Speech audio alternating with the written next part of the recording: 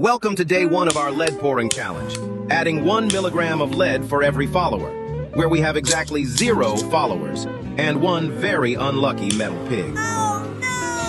This little guy weighs three grams. He has no idea what's about to happen.